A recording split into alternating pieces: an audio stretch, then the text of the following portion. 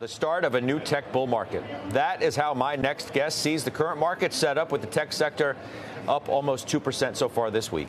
Joining me now to discuss, Eric Jackson, EMJ Capital founder and president. Welcome back. Good to see you. I mean, haven't we already been in a bull, tech bull market? Doesn't feel that way. If you've been investing in any tech stocks outside well, of the Magnificent Seven, you've been in the wrong ones. the Mag Seven has been amazing this year, but uh, for everybody else, including non-tech, uh, 2023 has been you know, a so-so year after a disastrous 2022. So are we talking about like higher growth, higher valuation tech? No question, no question. If you bull market for those stocks. For everything across the board. Nothing can happen without the Russell participating in this. Even though Russell is not necessarily tech, I don't think anything outside of the Mag 7 in tech can work unless the Russell works as well. And as you know, on Tuesday was a very significant day for the Russell. It finished almost up 6% on yeah, the day. Was, That's no, a, it was astonishing. It's a four standard deviation move. It's, it's, there was only one other time in the history of the Russell where it's had that kind of move. And I just don't think you can wave your hands and say that's just another day. I think it was a page turner. I think it's the start of a new rally for the market. I know, but aren't we like going back to like earlier chapters, so to speak? If you want to do the page turner thing, it's down 1.3% today. It's that had that incredible day, but that's kind of it. Well, last I checked, last five days, Russell's up something like 5%, NASDAQ's up 4 you know, uh, S&P I think is up three for the last five days. Uh, ARK is up seven and a half percent in the last five days. So I well, think well because yields have yields have come down. Yeah, well, this is what I'm saying. It's, it's hard sometimes, Scott, in the moment to recognize when something, you know, has significantly changed. I think there was a tremor on Tuesday, and things have changed. The Fed has done a Punxsutawney Powell, gone back into hibernation for, I think, the next six years. I think that's how the market's taking it. Yields are, you know, day after day on the decline, on the retreat. And uh, it's time to recognize that that's going to lead to a brand new chapter in the market. So yields have peaked. I think, yeah, it's a matter of waiting for the for the cuts to come. When do you think those are coming?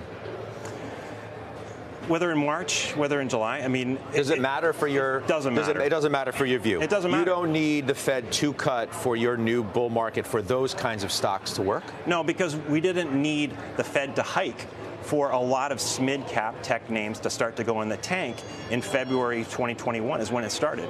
You know, there's something really interesting. If you look at a six-year chart of ARK, the growth tech, and you lay that on top of a six-year chart of Nasdaq during the dot-com era, it's kind of eerie the way that they, you know, mirror each other. Huge peaks and then huge declines. NASDAQ declined 77% from its peak in the dot com era. ARK was down at its lowest 80%. But what's really interesting to me is that it took two and a half years for NASDAQ to fully decline after the dot com peak. Last month, we just passed the two and a half year anniversary of ARK's peak in February of 2021. Mm. So you think it's bottomed? Um, NVIDIA, it's your top name?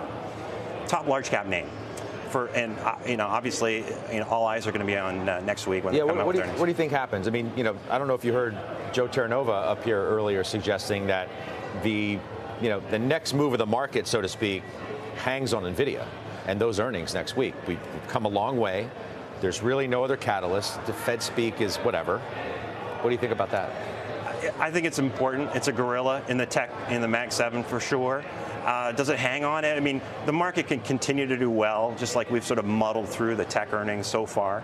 You know, just because uh, you know one of the names has a, has a disappointing name, you know, suddenly it rebounds a few days later. But I think I think Nvidia will have a good report. I think it's only expensive if you think when they raised you know their guidance by seven billion dollars over consensus like they did in May.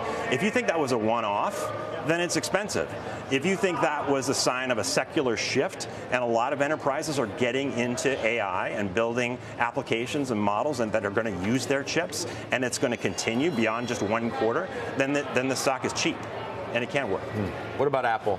Um, man, it's been a good comeback, right? And now it's pushing 190. Unbelievable comeback. And, and you, when you say, you know, is the market going to tank if you know Nvidia has a bad earnings? I mean, Apple's a great example. Everybody one day after Apple's earnings thought the thing, you know, was ready to kind of be left for dead, and it's gone straight up pretty much ever since. So, I think Apple is still cheap. It's one of the names that I also like in the Mag 7, along with Meta mm-hmm. uh, and Tesla, which I own all four. Um, I think Apple can still work. It's an iPhone story.